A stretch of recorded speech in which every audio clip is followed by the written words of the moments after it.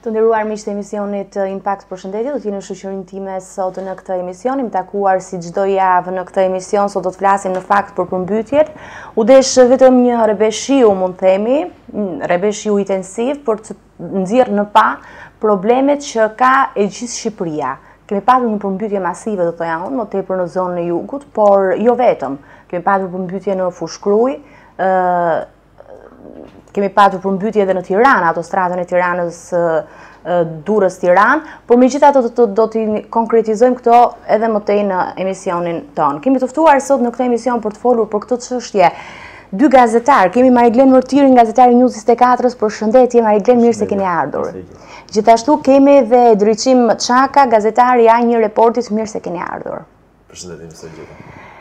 Ju e keni prekur nga afër, do thoja unë, terrenin, keni parë, keni vëzhguar mjaft mirë gjendjen në të cilën është ndodhur Shqipëria në këtë rrebesh shiu që ndodhi.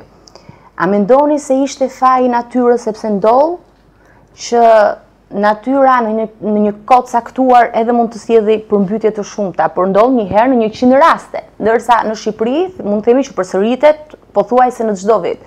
Edhe kësaj radhe natyra e kishte fajin, Mariglen, si mendon? Përgjithsisht është natyra e cila krijon është shkaktarja kryesore, po përgjithsisht duhet të jetë njeriu që të parandalojë këtë dhe përkatësisht strukturat që neve kemi. Është rasti i disatë që ne për, ne përmbytemi në pak, kemi vite domethënë. Në pak kohë Shqipëria përgjithsisht përmbytet, po ka me një diferencë nga veriu që kemi qenë disa vite më parë tani përmbytja ka zbritur në jug dhe në Shqipërinë e Mesme kryesisht në zonën e Tiranës dhe Fushë-Krujës. Si si si është e mundur domethënë që kemi patur përmbytje dikur në veri dhe kësaj radhe domethënë janë shmangur në veri dhe kemi përmbytje më tepër në jug.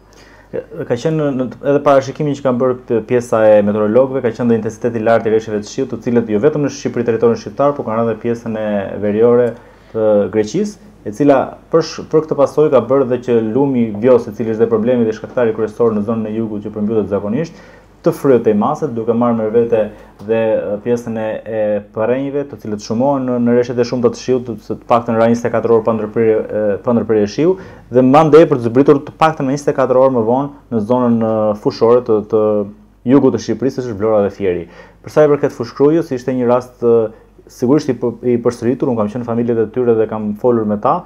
Rasti i Fushë-Krujës ishte në tre vitet e fundit, disa prej familjeve që kontaktova ishin përmbytur 6 herë.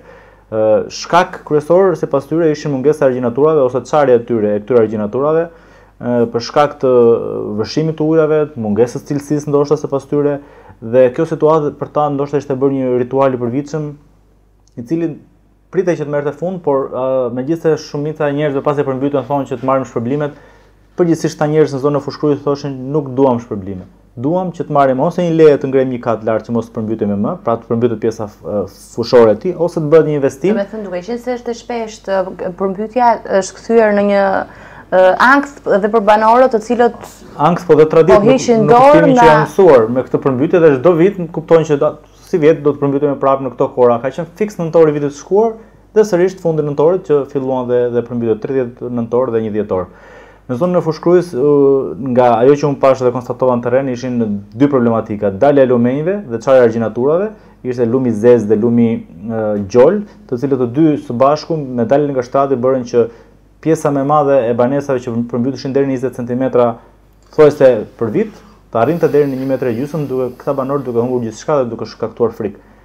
Pjesa e këtyre banorëve, që unë shkova dhe në datën 1 dhjetor, mëngjesin e datës 1 dhjetor, shkova dhe kontaktova me ta, shumica prej tyre ndodheshin në katet e dyta të banesave, duke kërkuar ndihmë sepse ishin të pa nuk e prisnin atë vërshim aq të madh të ujit dhe në pak kohë, megjithëse pretendimet ishin të ndryshme për sa i përket vrullit të ujit dhe hapjes së portave, një tjetër pretendim i cili Ende nuk është konfirmuar, megjithëse zyrtarisht thuhet që nuk ka pasur një gjë të tillë, ndërkohë që banorët përdornin shpesh të ndarën Fushë-Krujë, përdornin pjesën e autostradës si pritë në të dyja krahët. Nëse përmbytej zona e Fushë-Krujës, pjesa e autostradës e sipër ishte gjithmonë e përmbytur deri në 20-30 cm. Pjesa poshtë mbrohej nga pjesa e autostradës ishte më e ngritur dhe nuk përmbytej. Këtë vit ata u përmbytën dhe kjo ishte shkak i vërshimit të ujërave të cilat ishin mbi atë që ishin mësuar gjithmonë. Zoti Çaka, e njëjta pyetje do të jetë edhe për ju, si mendoni, a mbetet faji vetëm tek natyra apo pjesën më të madhe të fajit e kanë uh, institucionet përkatëse të cilët duhet të merrnin masa paraprake për të uh, parandaluar këtë, mund të themi, këtë situatë që është e papranueshme për për Normalisht, sistemi vërshimi i ujërave ka qenë i fuqishëm, i furishëm në momentin që ndodhen përmbytjet, por duhet lidhur edhe me faktin se intensiteti i reshjeve ka qenë tepër i lartë sidomos në datën 31 nëntor dhe një 30 nëntor dhe 1 dhjetor. Por nëse do të ishim të përgatitur, ndoshta institucionet të ishin të përgatitura për një situatë të tillë. që do të thotë, nga ajo që unë kam parë, kam qenë në Fier, Vlorë, kam ndjekur dhe përmbytjet në zonën e City Parkut në autostradë, nëse do të kishëm ndoshta kanale dhe argjinatura më të forta, ndoshta lumenjtë nuk do të dilnin nga shtrati. Po i referohem pjesës së lumit Vjosa. Vjosa ka dalë nga shtrati dhe ka marrë çdo gjë para për faktin se argjinatura është çarë, dhe nuk kishte më asgjë se çfarë ta ndalonte. Dhe normalisht dhe intensiteti i shirave ka qenë i lartë, por normalisht situata të tilla duhet të, të t'i parandalojmë, që do thotë kanalet kulluese në gjithë zonën e Novoselës dhe në zonën e njësisë administrative Levan në Fier, thuajse nuk funksiononin nga ajo që unë pashë. Kjo do të thotë se nëse do të ishim në kushtet që do të ishin pastruar, ndoshta lumi Vjosa nuk do të shkaktonte përmbytjen aq të madhe edhe të banesave, por vetëm të fushave. Kështu që shteti ka lidhje dhe normalisht mund të ndikojë në parandalimin e situatave të tilla. Por jo në rastin siç ishte pranë autostradës Tiranë-Durrës, pasi aty ishte Intensitet shumë i lartë reshjesh dhe nuk kishte se çfarë të bënte, por në rastin e Fierit, Fushë-Krujës dhe Novoselës në Vlorë, shteti mund të ndërhynte duke, të paktën, duke forcuar argjinaturat e lumenjve dhe duke hapur pra kanale kulluese më të thella. Pra ju, ju, ju po thoni që nëse do shteti do kishte patur mundësi të të vinte dorë më përpara, të bënte investime. Mundësitë i kishte, ndoshta një investim i duhej. Po, investime, kjo ngjarje edhe mund të mund të kalojë, mund të minimizoheshin përmbytjet. Po, po. Mund të minimizoheshin nëse do të kishim të paktën argjinatura më të forta për lumenj, sidomos për lumenjtë e rrezikshëm, lumi Vjosa dihet, në 2015-ën ka shkaktuar pak a shumë njëjtën përmbytje në zonën e Fierit dhe Vlorës. Por edhe kanalet kulluese ndikojnë shumë, për shkak se në zonën e Fierit dhe Novoselës në Vlorë Kanalet kulluese ishin në nivel 30 deri në 1 metër, 30 cm deri në 1 metër. Është shumë pak për kanale ku pretendohet se lumi Vjosa do të përmbytë gjithë zonën. Duhet të ishin minimalisht kanale kulluese nga 2 metra, duke investuar pikërisht te këto kanale dhe duke forcuar argjinaturën e lumit Vjosa, ndoshta përmbytjet në Fier dhe Vlorë mund të shmangeshin pjesërisht, të paktën pjesa e banesave dhe jo tokave. Tokat ishte e pamundur të shpëtojnë për shkak se Intensiteti i reshjeve ka qenë shumë i lartë dhe lumi Vjosa ka ardhur me një me një shpejtësi tepër të lartë, kjo edhe falë reshjeve të shiut që kanë përfshirë gjithë pjesën e Greqisë dhe Shqipërisë. Me pak fjalë ne duhet lutemi sa herë që të bie shi, që mos kemi reshje të dendura të shiut, sepse ndoshta në të ardhmen. Nuk duhet të lutemi, por duhet të forcojmë argjinaturën e lumit Vjosa, por edhe të lumenjve të tjerë. Nuk duhet të lutemi. Kemi një rast tipik, pavarësisht reshjeve që ranë në qarkun e Tiranës, Lumi i Tiranës sivjet nuk doli nga shtrati. Lumi i Tiranës është një lum i cili ka përmbytur çdo vit. Ka qenë risi faktikisht çdo vit. Çdo vit e përmbyste Tiranën, pjesën e bregut të lumit, çdo vit ishte i përmbytur. Fakti që aty u vendosën argjinatura mbrojtëse në mënyrën më të mirë të mundshme dhe u parandaluan para se të vinin reshjet e shiut, do thotë gjithçka ishte nën kontroll. Po ashtu dhe lumi Lana, në zonën e Pallatit me Shigjeta, çdo vit Ne raportojmë për rrezikun e daljes nga shtrati dhe përmbytjen e të gjithë bizneseve, jo rrezik, po përmbytje çdo vit të bizneseve të kateve të para në zonën e Pallatit me Shigjeta. Këtë vit nuk ndodhi, për shkak se tre muaj mos gaboj më parë, diku në shtator, Bashkia e Tiranës filloi me zonën fundore të Lanës, ku hoqi miliarda tonelata mbetje që nuk pastroheshin prej 27 vitesh dhe fakti është që lumi Ishte në shtratin e tij dhe nuk dëmtoi asnjë biznes plas brenda Tiranës, megjithëse në zonën e Kasharit shkoi me me furi, pasi ishte mënyra e ndërtimit të, të shtratit të tij është shkon drejt shkarkohet drejt zonës së Kasharit, e cili nuk është nuk ka brazën e duhur dhe aty mund të shpërndahet. Ndërkohë që vetë situata e banorëve në jug, në qoftë se ju keni keni qenë, keni raportuar si ka qenë situata e këtyre banorëve, çfarë çfarë kanë thënë vetë banorët, si janë prononcuar? Në fakt, zona fshati më i dëmtuar në jug ishte Ferrasi, pavarësisht se ne dëgjuam Darzeza, por Ferrasi ishte aty ku uji kishte arritur nivelin 2 metër, pasi është fshati i parë ku lumi Vjosa prek menjëherë sapo del nga shtrati dhe përveç se ishte rryma ishte shumë e fortë dhe u rrezikuan dhe jetët e banorëve nëse nuk do të ishte reaguar në kohë, por janë dëmtuar dhe janë shkatërruar thuajse pjesa më e madhe e kateve të para.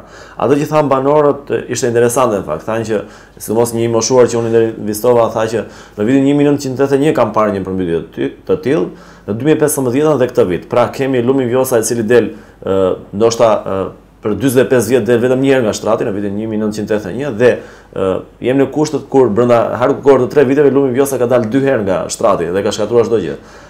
Ishin të prekur, në fakt dëmtimet ishin miliona lekë, Përveç orendive shtëpiake, çfarë ata kishin mundur të shpëtonin nga shpejtësia. Dhe bagëtive kam përshtypjen sepse bagëtitë është më e vështirë për t'i për t'i lëvizur. Përveç faktit që një pjesë e tyre ose janë janë janë mbytur nga uji ose nuk janë mundur dot të zhvendosen, ishin pa ushqim për më shumë se 48 orë pasi banorët nuk dilnin dot nga banesat e tyre. Por ishin në katet e, po, dyta dhe ishin pa ushqim. Një pjesë e mirë kanë ngordhur nëpër stallat ku ata kishin fermat apo nëpër ferma të vogla që kishin pranë banesave. Dëmet ishin kolosale, por banorët nuk është se kërkonin vetëm dëmshpërblimin. Ata donin një zgjidhje, si do zgjidhet kjo situatë. Pra, intervistat që unë kisha ishte, ok, ne duam dëmshpërblimin, sepse jemi dëmtuar, ndoshta 5 milion lekë të vjetra dhe më shumë, por, çfarë do ndodhë vitin tjetër? Në një një një do vijojmë gjithmonë, pra ndaj duhet që ata kërkonin lumi Vjosa të, argjinatura e lumit Vjosa të forcohej dhe të kishte kanale kulluese të mirëmbaheshin dhe të thelloheshin, por argjinatura e lumit Vjosa është domosdoshmëri që duhet ndërhyrë.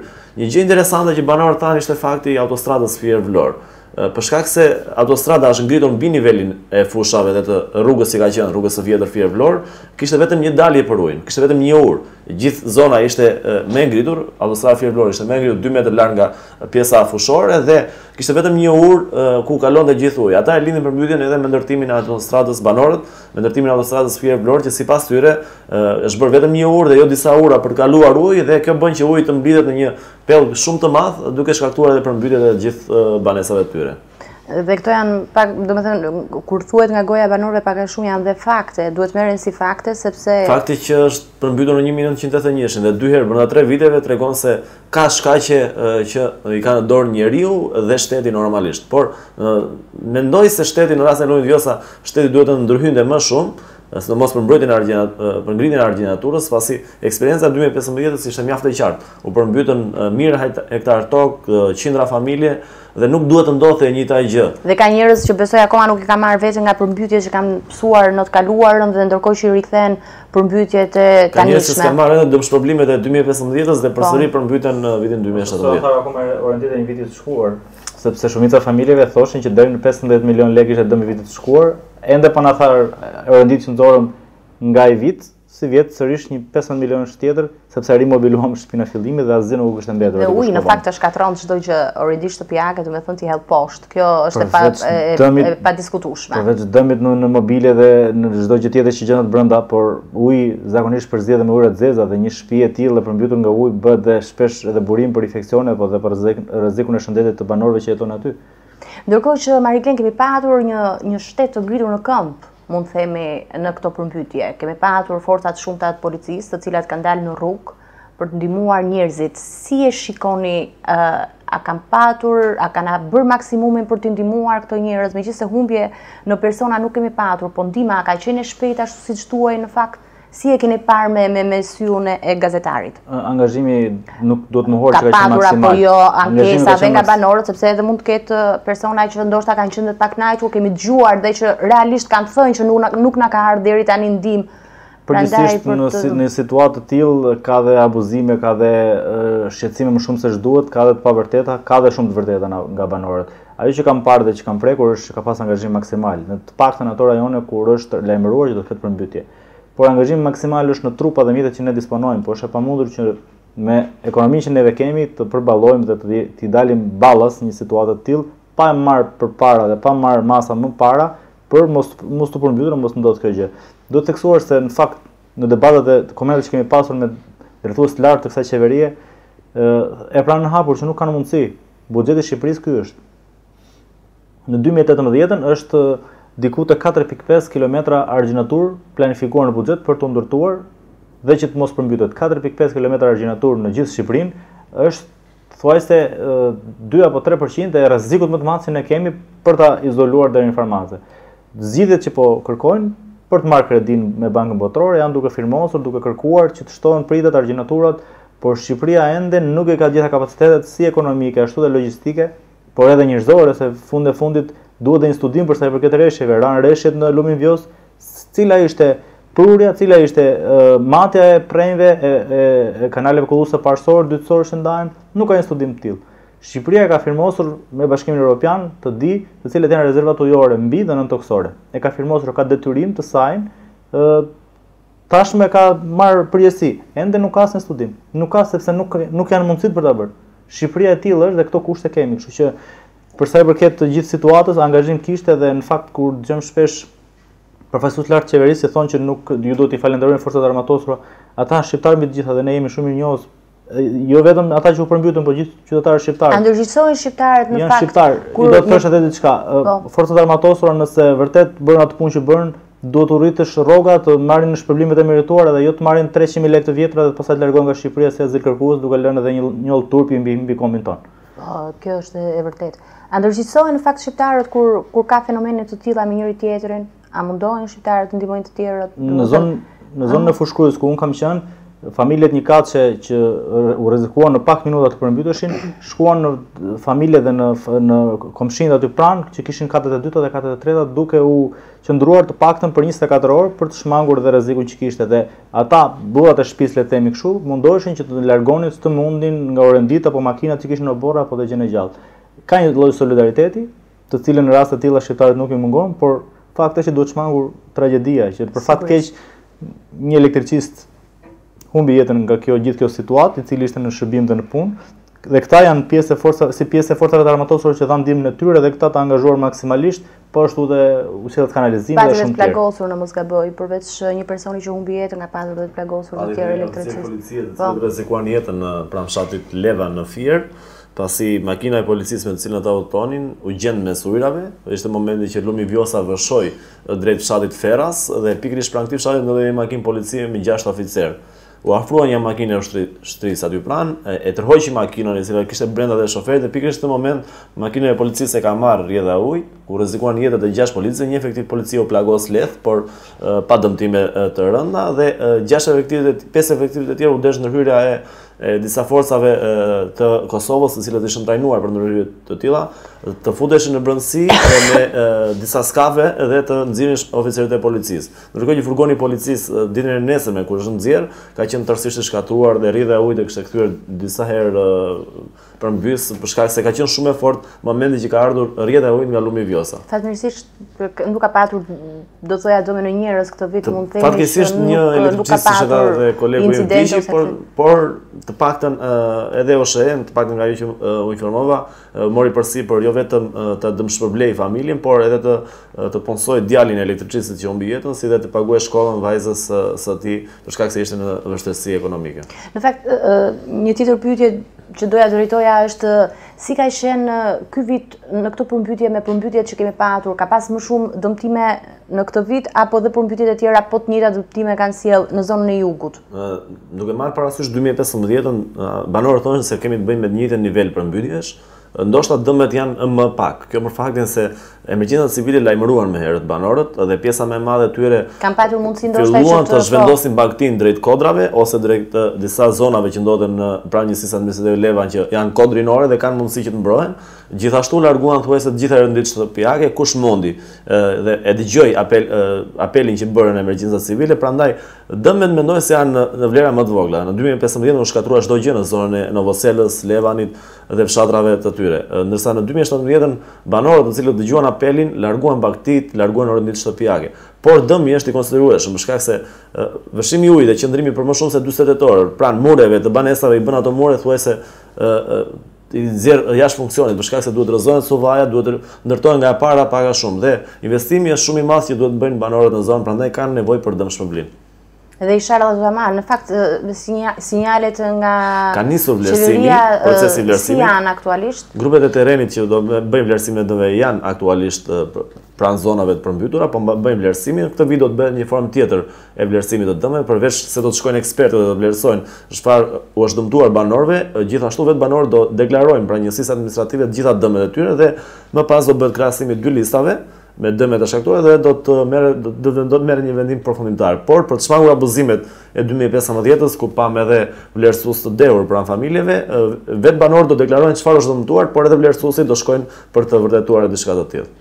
Ndërkohë Mariglen kemi patur një për, një, një përmbytje në fakt do thoja edhe në pjesën e autostradës Tiranë-Durrës në Qafë-Kashar, për të qenë saktë.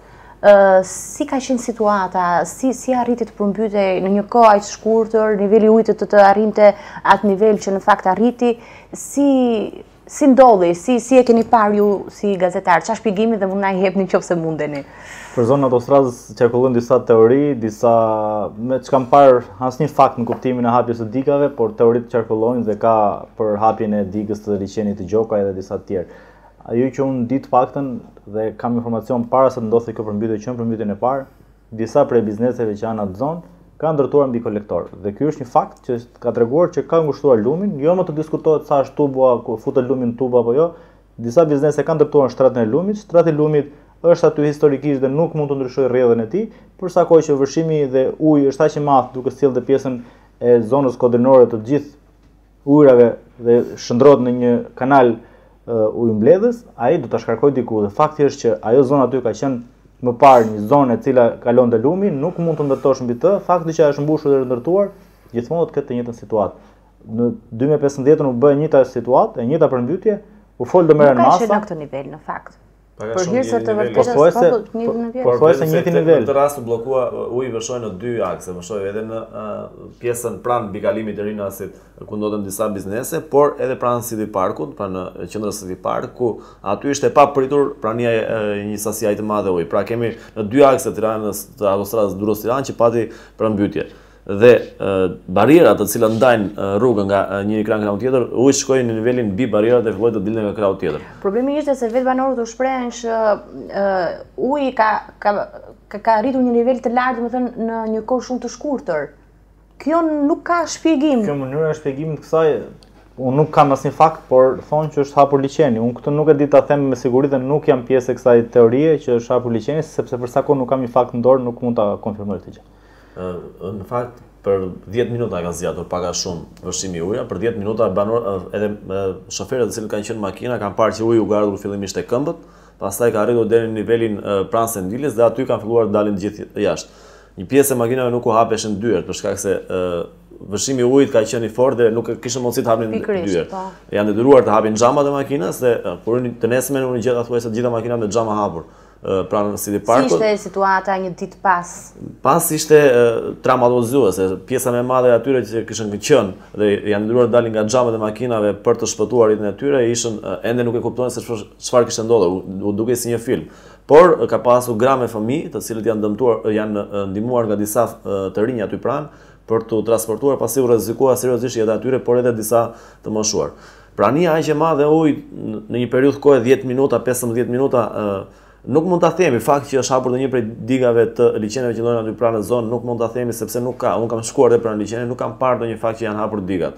Edhe specialistët e kanë mohuar një gjë të tillë. Por ka një gjë, bllokimi, ndërtimi mbi kolektor, mbi lumin dhe fakti se është bllokuar, janë vendosur tuba më shumë të vegjël aty, ka bërë që mos të kishte më rrjedhë normale ujit dhe uji të mblidhej gjithë në një pellg shumë të madh. Autostrada është ndarë me barriera. Kjo bën që uji të mblidhet pikërisht tek një zonë dhe prandaj mendoj unë, është shpjegimi që ka pasur prani aq të shpejtë uji dhe nuk ka kaluar në zonën tjetër. Në krahun tjetër, ku kaloi uji pranë bizneseve në krahun tjetër të autostradës, Tiranë-Durrës, u hap sepse u kaloi sepse u ça barriera që ndanin autostradët, u çanë me urdhër të Ministrisë së Brendshme. fillimisht nuk u dha urdhër për t'i hapur ato, por Ministria e Brendshme dhe Ministria e Mbrojtjes kanë dhënë urdhër forcave të armatosura dhe disa makinerive të rënda që ndodheshin aty të hapnin menjëherë, të hiqnin barrierat në mënyrë që uji të vijonte sepse rrezikohej jeta e e shoferëve kryesisht që ishin ishin të bllokuar pak a shumë dhe nuk lëviznin dot për minuta të tëra.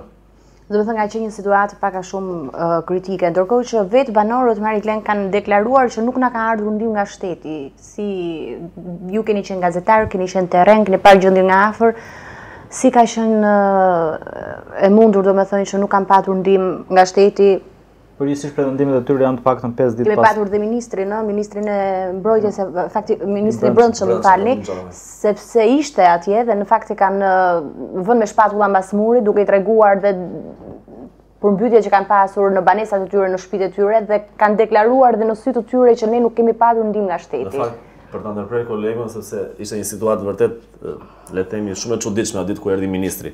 Erdhi ministri, banorët iu sulën direkt i treguan që u përmbytëm të gjithë. Dhe njëri prej banorëve i tha ja të shikosh banesën. Shkoi pranë banesës ministri dhe i tha edhe pas shtëpisë i tha më është përmbytur çdo gjë.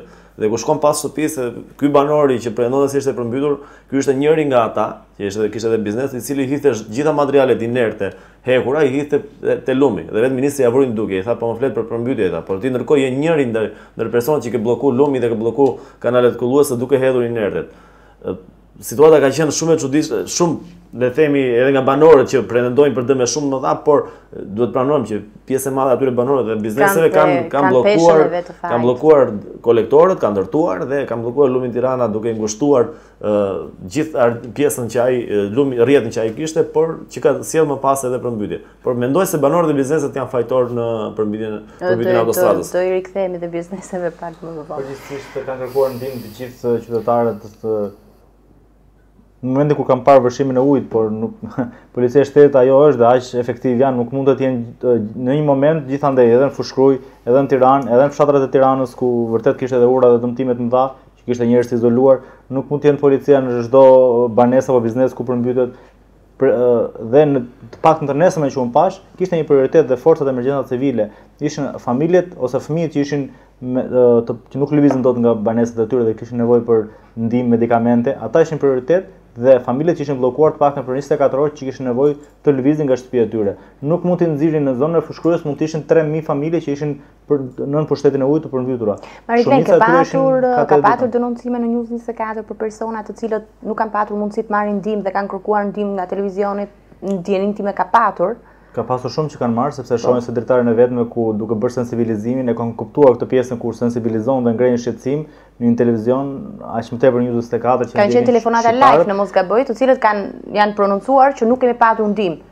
përgjithësisht Prandaj po ta po po e them, po e vë në dukje po, këtë sepse ka patur persona që kanë kërkuar ndihmë dhe që nuk kanë arritur ta marrin ndihmën ose mund ta kenë marrë në momentet kur e kanë bërë mediatike. Dhe ju si gazetar jeni pjesë e saj që ju vijnë herë pas here denoncime të njëpasnjëshme. Përgjithësisht bërja publike e rasteve do të thotë edhe një ndihmë pak më shumë për banorët, të cilët duke sensibilizuar rastin e tyre mund të kenë më shumë mundësi edhe të shpëtojnë kështu në thonjza, por edhe një sensibilizim për sa i përket dhe skuadrave të monitorimit që monitorojnë mediat gjatë këtyre lloj situatash, të cilat mund të marrin informacion më të shtuar për sa i përket ndërhyrjeve që mund të bëjnë si forcat e armatosura, si emergjenca civile, ashtu dhe policia në terren, për të shpëtuar njerëzit nga nga nga ajo situatë që po përjetonin, por përgjithësisht ka dhe një duhet të pranuar që në këto situata ka dhe një hiperbolizim të ngjarjeve për të për ta zmadhuar gjënë që të jenë prezent dhe shpesh kur kanë shkuar dhe qoftë forcat e policisë, qoftë emergjencat civile, nuk kanë gjetur atë situatë aq të rrezikshme dhe aq të pamundur të atyre familjeve për t'i shpëtuar. Shpesh ka pasur dhe... një rast, më duket një vajzë të sëmurë të cilën arritët ta nxirrnit nga banesa, nuk kishte mundësi të lëvizte, ishte paralizuar në mos gaboj? Ka qenë një vajzë nëntë vjeçare, ka qenë paraplegjike, e cila në muajin shtator kishte bërë dhe një operim për sa i përket stomakut dhe ishte ushqehej me anë të një sonde dhe ishte e pamundur të lëvizte dhe kishte 24 orë në banesë. Kur erdhën forcat e emergjencave civile të cilat familja kërkoi ndihmë dhe në zonën aty përreth mund të ishin 3000 familje të cilat rrinin në katet e dyta të shtëpive, prioriteti ishte ky fëmijë për t'u nxjerrë prej andej dhe disa familje tjera që kishin po ashtu fëmijë, të cilat u nxorën nga forcat e emergjencave civile, por nuk mund të nxirrin dot 3000 familje që rrinin aty, kuptimin e prioriteteve, sepse të tjera familje kishin nevojë, që mund të kishte shkuar uji rreth 1 metër e gjysmë, sepse ai sa vinte të rriste si temperamentin për sa i përket vërshimit, po edhe lartësisë së ujit, dhe kështu që nuk mund të ishin forcat e emergjencave civile gjithandej dhe pati edhe konfrontime në kuptimin debate verbale mes forcave të emergjencave civile dhe banorëve të zonave duke thënë që dakord ju e shpëtoni këtë fëmijë ne jemi pro ne jemi një zonë, por kemi edhe ne fëmijët tanë, duhet t'i nxjerrim nga nga familja.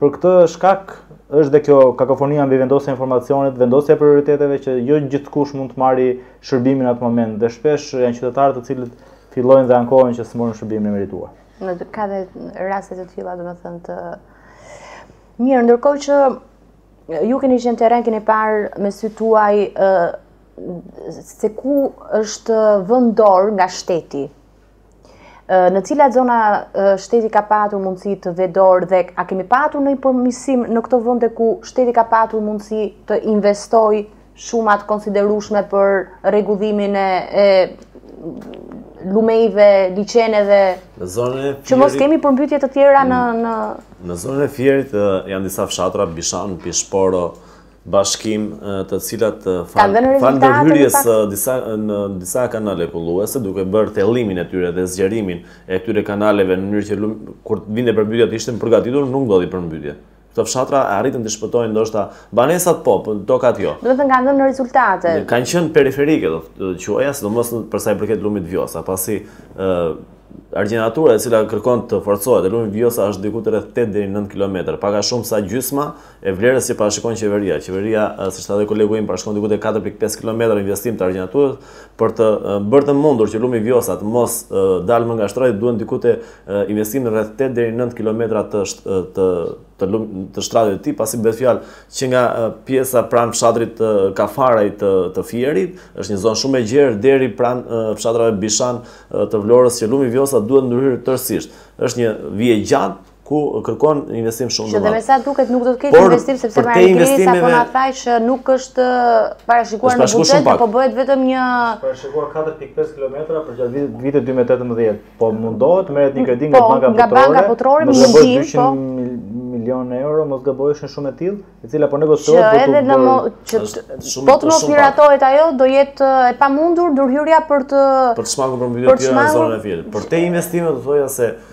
Institucionet shtetërore kanë qenë të paktën pranë banorëve. Këtë edhe ne kemi vërtetuar, ku emergjencat civile edhe ku aty nuk kishin mundësi fizike, Unë kam qenë në një fshat, fshatin Qarr, ku ishte i përmbytur, emergjencat civile derisa shkova unë me një gomone nuk kishin qenë pranishme.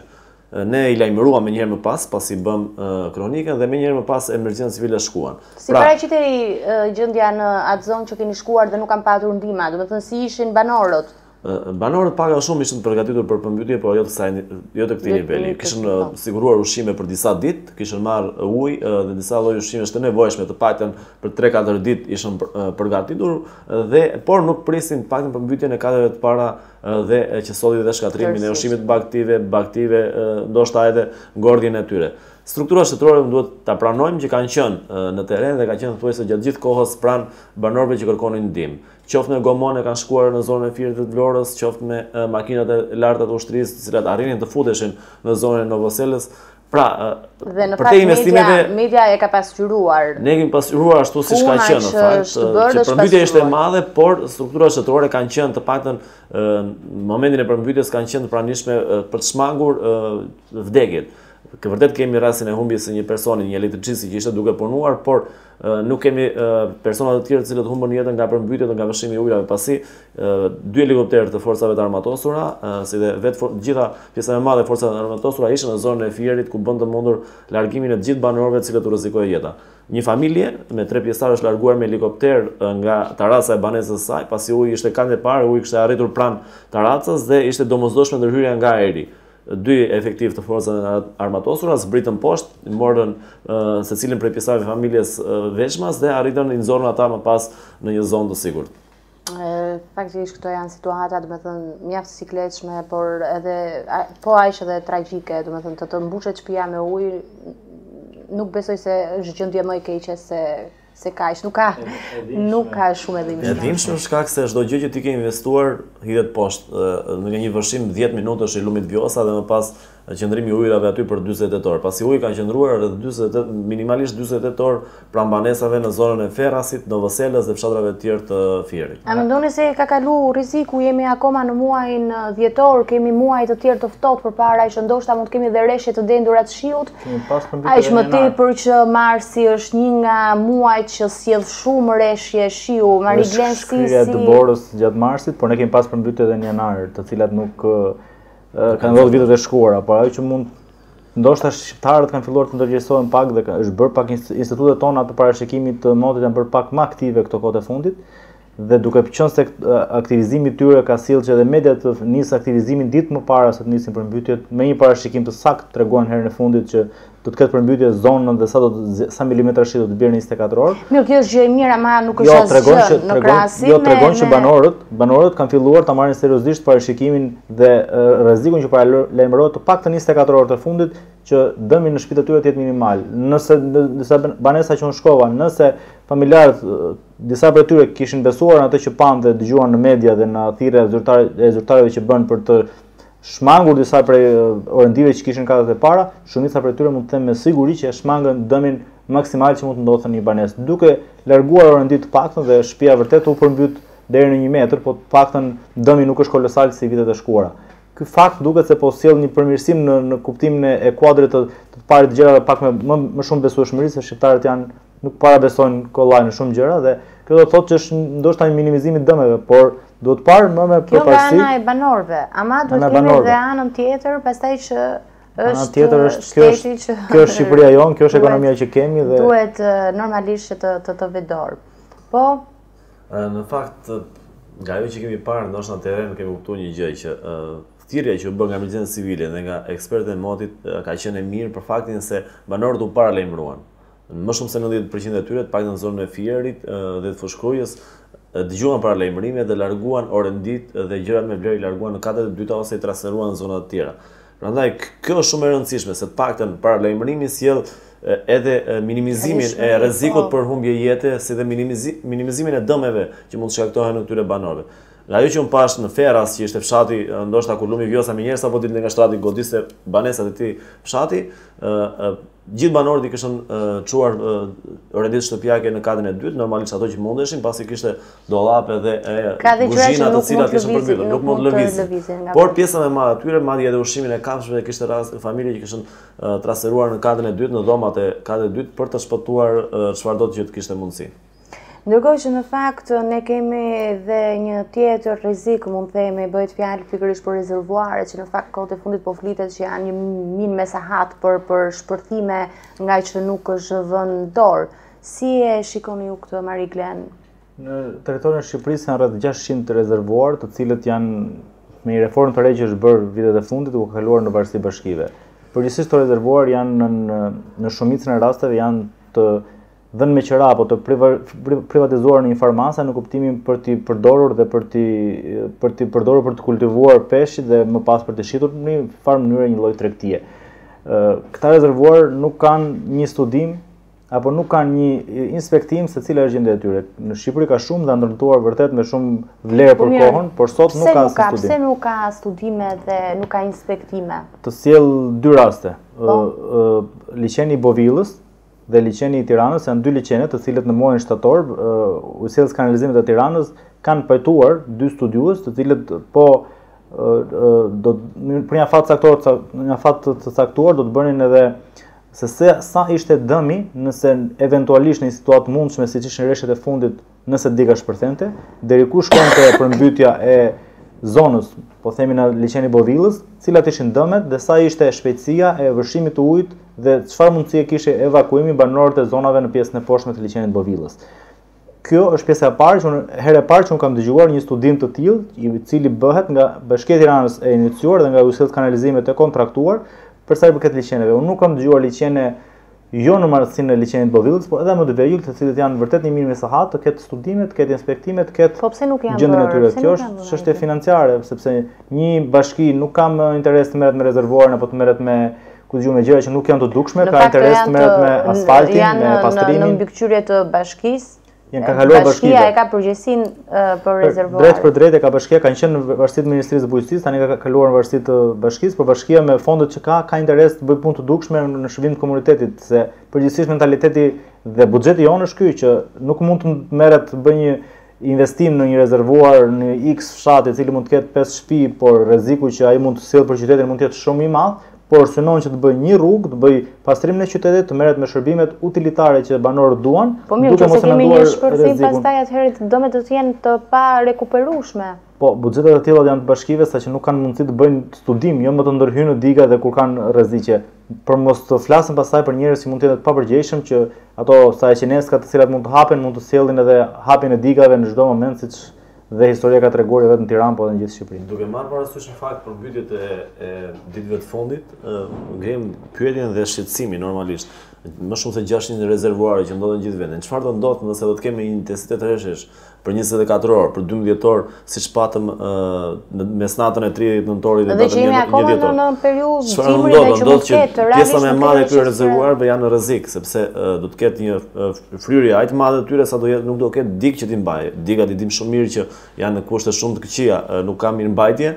Pra, rreziku është që nëse kemi intensitet të, të lartë reshje shiu, këto rezervuarë të kthehen në mina, në bomba për qytetet më pas, të cilat nëse shpërthejnë ose nëse hapen, do të sjellin përmbytjen e banorëve dhe të dhjetra banesave, jo vetëm këtu, s'po flasim vetëm për Tiranën, po flasim për gjithë Shqipërinë, pasi janë në gjithë vendin. Por si ka mundësi që nuk janë paralajmëruar njerëzit të persona, domethënë që kanë familjet afër banorët që jetojnë. Fakti që s'ka ndodhur asnjëherë ndoshta, por një gjë e tillë nuk është se mund zgjidhet gjë me paralajmërim, por duhet investuar në këto rezervuare.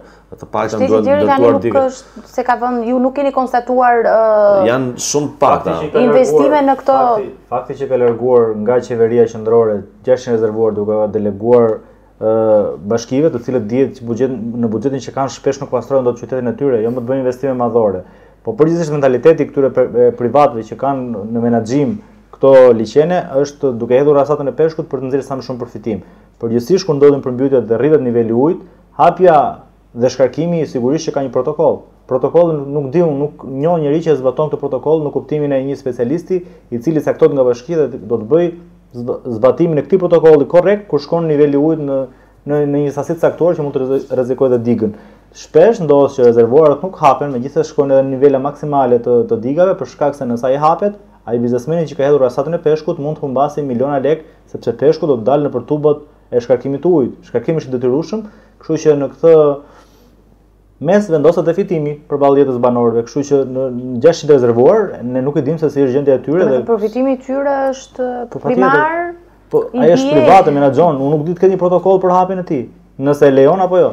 Megjithëse këtë herë rezervuarët ishin në pikun e tyre të thatësirës, domethënë, sepse me sa mbaj unë Mend, rikthehem tek vera që liqeni viroi, liqeni apo viroi që njihet në Gjirokastër, ishte i tharë gjatë gjithë verës, për 3 muaj deri në fund të shtatorit ka qenë i tharë, për 3 muaj viroi doli nga shtrati dhe përmbyti pothuajse rrugën, po dhe zonat e pjesës së poshtme. Do të thotë që është i paparashikueshëm ky mot që ne shkojmë nga janari me minus 5 gradë Celsius, ndërkohë që në dhjetor kalojmë në reshje 200 mm apo 300 mm për 24 orët e fundit.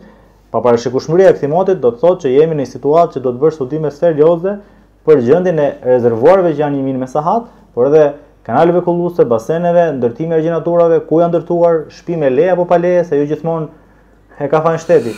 Po, ndërtimi i, po, afër argjinaturës ka dhjetra familje që kanë ndërtuar pranë argjinaturës ose mos them pjesën e brendshme të argjinaturës që çdo vit nuk kanë pritshmëri tjetër përveç të përmbyten. Ai nuk është një faj i shtetit që Ndërtoi aty, ka përgjegjësinë e tij që e lejoi të ndërtojë apo e lejoi të jetojë, por nuk ka përgjegjësinë se çdo vit ti ke ndërtuar aty. Se përgjithësisht është dhe një thënie në jo vetëm në Tiranë, por gjithandej që të parët nuk ishin aq budallenj sa ndërtonin në kodra dhe në male, por u treguam ne të zgjuar që ndërtojmë në, në pjesën e ultësirës dhe afër lumenjve, aq më tepër në zonën e jugut dhe ultësirën perëndimore ku shumica e tokës ndodhet në nivelin e detit dhe hidrovorët janë ata që nxjerrin ujin dhe largojnë për të mos shkaktuar përmbytje. Ndërkohë që të rikthehemi edhe një herë pjesës së shpërblimeve, kësaj radhe lidhur me bizneset, ka patur biznese të shumta të cilat janë dëmtuar goxha për sa i përket përmbytjeve, si si parashikohet shpërblimi i këtyre personave. Në kontaktin që unë pata të paktën në një debat televiziv me ministrin. Edhe tek rruga e domethënë tek përmbytja që ndodhi në autostradë, ka patur disa biznese të cilat janë... Dëmet janë shumë të mëdha, unë isha një biznes konfeksionesh, kishte një dëm shumë kolosal dhe ishte një biznes sapo kishte nisur dhe ishte një investim i cili ndoshta ai nuk mund të rikthehet prapë për të vazhduar biznesin e tij sepse dëmi ishte aq i madh. Por Në kontaktet që patëm të paktën në një debat televiziv me ministrin e Bujqësisë, ajo që më la të kuptoja dhe që mësova prej tij ishte që janë në fazën e hartimit dhe diskutimit se si do të ndodhë radhë të parë vlerësimi i dëmeve dhe pastaj se si do të ndodhë shpërblimi. Shpërblimi do jetë 100%? Ajo që ajo që nuk më dha përgjigje që ajo, ajo që unë pyeta dhe doja të merrja një informacion qoftë për veten dhe për qytetarët që na ndiqnin, ishte se shpërblimi si do të jetë, do të ketë kategori, do të ketë familje të cilat u përmbytën më shumë do të marrin më shumë lek, familjet që u përmbytën më pak do të marrin në bazë të dëmeve, do të ketë familjet që janë të legalizuara me banesa do të marrin dëm 100%. Do ajo që po përgjigje që morëm nuk kishte një kategorizim të tillë se përgjithësisht shteti vepron edhe në bazë të dokumentacionit, nëse një familje është ka shtëpi të legalizuar, është brenda konform rregullave, dhe në një shtëpi tjetër që është e palegalizuar, nuk është e certifikuar, është përjashtuar nga procesi i legalizimit se kanë ndërtuar brenda vijës së kuqe të rrezikut të përmbytjeve, nuk e di të ketë kategorizim apo jo. Por ajo që mësova me me nga ministri që ishte si një nismë mund të kishte edhe prishje të shtëpive që janë pranë argjinaturave dhe largimin e tyre prej andej përfundimisht që mos jenë një rrezik evident çdo vit sa herë kemi pak milimetra shi që lumenjtë dalin nga shtrati. Në fakt, procesi i dëmshpërblimeve do të bëhet sipas informacioneve që është bërë janë dhënë edhe nga strukturat shtetërore, për orenditë shtëpiake do të bëhet një vlerësim 100%, ndërkohë që për sa i përket dëmeve që janë shkaktuar në banesa, kryesisht ato që kanë certifikatë pronësie dhe janë në, janë të legalizuara, do të do të bëhet një vlerësim i dëmeve nga ekspertët. Por të kemi një gjë parasysh, ekspertët nuk bëjnë vlerësim të dëmeve me çmimet e tregut, por me çmime të cilat ai merr parasysh është çmimi referencë, që janë shumë herë më të ulta nga çmimet e tregut. Prandaj që nuk mund të flasim për dëmshpërblim 100%. Kemi pasur përmbytjen në Shkodër, përmbytjen e 2015-s në Fier dhe Vlorë dhe banor, asnjë prej banorëve nuk ka marrë dëmshpërblim 100%. Unë isha në një familje në Ferras të Fierit dhe më tha se në vitin 2015 nga gjithë ajo përmbytje kishte marrë një dëmshpërblim prej 4 milionë lekë të vjetra. Dëmi sipas atij ishte në vlerën diku te njëzet, njëzet e pesë milionë lekë të vjetra, por ekspertët, tha ai, kaq ma vlerësuan, m'i vlerësuan me të çmime minimale reference të shtetit. Pra, nuk mund të flasim për dëmshpërblim 100% pasi asnjëherë shteti nuk bën dëmshpërblime me çmimet e tregut, por me çmimet e referencës. Po bizneset Si i shikoni, sepse duke qenë se dhe kjo ka pjesën e vet, është në qoftë se një biznes falimenton në të keqen tonë. Është interesant fakti një biznesmeni që u drejtua ministrit Xhafaj, tha që në vitin 2015 në autostradën Tiranë-Durrës m'u përmbyt biznesi, tha, dhe një pjesë më e madhe e mallit ma mori uji. Më pas, pas tre muajsh, tha, përveç se s'kisha marrë dëmshpërblime, më vijnë tatimet dhe më kërkojnë të paguaj TVSH-në e mallrave të cilët mua m'i kishte marrë uh, uji. Ishte në fakt edhe ironike si rast. Për mallin që nuk e kishte më. Për mallin që nuk e kishte dhe tatimet i kërkonin të paguante dhe 20% e TVSH-së, të cilën nuk e kishte paguar për diçka që ishte dëmtuar. Për bizneset në fakt është vështirë të dëmshpërblehen me vlerën e dëmeve që është shkaktuar. Kryesisht bizneset nga sa informacioni që kam unë kanë dhe një sigurim që e kanë paguar te kompanitë private të sigurimit, janë, kanë siguruar biznesin e tyre, mbetet për t'u parë faktin nëse të gjithë e kanë kryer një proces të tillë dhe do ta marrin apo jo vlerën e dëmshpërblimit, por në autostradën Tiranë Durrës pjesa më e madhe e bizneseve ja, kanë të siguruar biznesin e tyre te kompanitë private, ndërkohë që shteti edhe në, kur ndodhën përmbytjet e dy viteve më parë dëmeve dëmshpërblimi ka qenë në nivele minimale, jo në nivelet që ata ishin dëmtuar. Ndërkohë që në fakt kryeministri Rama jo pak pak kohë më parë në përmbytje të, të një pjesë të mirë të Shqipërisë tha që duhet të sigurohen, sigurohen banesat edhe bizneset. Është diçka që e ka përmendur në 2015. Si, si shikoni si iniciativë? Unë e mendoj domethënë sepse ka dhe njerëz që nuk kanë mundësi të sigurojnë banesat e tyre edhe jetën e tyre në fakt Në fakt për të siguruar sot një banesë, vlera është goxha e lartë, por nëse bëhet me ligj nga qeveria, atëherë ka shumë mundësi që vlera të jetë diku te 50000 lekë të vjetra sigurimi i banesës, normalisht duke parë dhe riskun e, e zonave. Por jo të gjithë e kanë mundësinë për të kryer sigurimin e banesës çdo vit siç e parashikon qeveria. Nuk mendoni që zonat që janë në që janë më të predispozuara për të përmbytur nuk do kenë mundësi që edhe të Në fakt ato zona që kanë mundësi të larta për të përmbytur do jenë të parat që do sigurohen. Kanë përshtypjen që nuk siguracioni nuk i merr përsipër. I merr përsipër por me siguracion me vlera të larta, jo me vlera të ulëta siç mund të marrë një banesë në në qendër të Tiranës, nuk mund të merret një banesë në Novoselë të Fierit me të njëjtën çmim, pasi po flasim për zona ku risku është shumë i madh. Por fakti që të bëhet për gjithë Shqipërinë ndoshta është e tepruar. Unë do të isha dakord për një sigurim për ato banesa në ato zona ku ka rrezik për përmbytje, siç është Fushkruja, fshatrat e Firit, Novosela e Vlorës, pranë autostradës Tiranë Durrës, pra të bëhet një vlerësim i zonave ku ka rrezik për përmbytje dhe më pas të merret të vendoset një ligj, ndoshta udhëzim, ndoshta me ligj që pikërisht në këto zona çdo ndërtesë, biznes e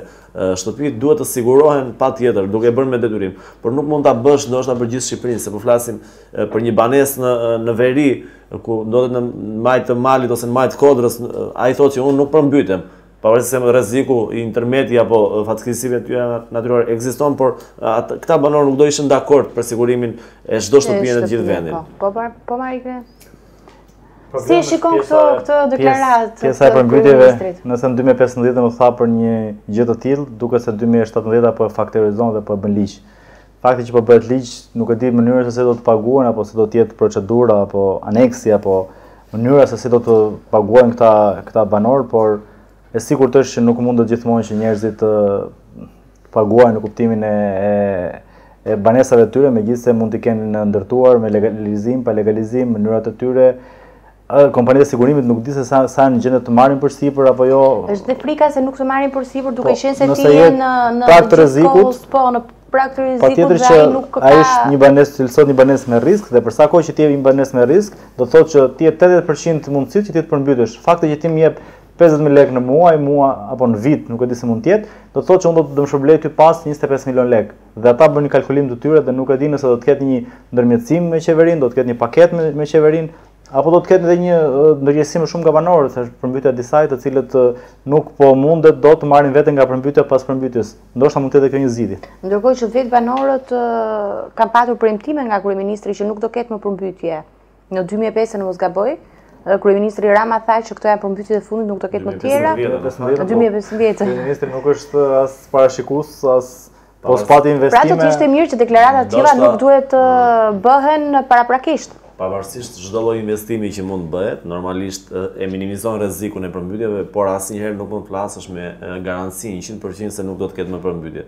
Mund të kemi intensitet reshjesh për 24 orë dhe nuk ka argjinaturë, nuk ka ndërhyrje apo investim që mund të para të ndalojë daljen e lumenjve nga shtrati. Kështu që për përmbytje dhe për borë, për bllokime rrugësh nuk mund të flasësh me garanci, pasi janë fatkeqësi natyrore, mund të ndodhë një tërmet në momentin që ne po flasim dhe nuk e parashikon dot. Kështu që edhe përmbytjet Ndoshta mund të parashikosh intensitetin e reshjeve të shiut dhe të paralajmërosh banorët, por nuk mund ta parandalosh dot një përmbytje. Nuk mund të parandalohet, siç është argjinatura sot, dalja e lumit Vjosa nga shtrati nëse kemi reshje shiu për pesë, gjashtë orë rresht në zonën e Greqisë dhe në Shqipëri.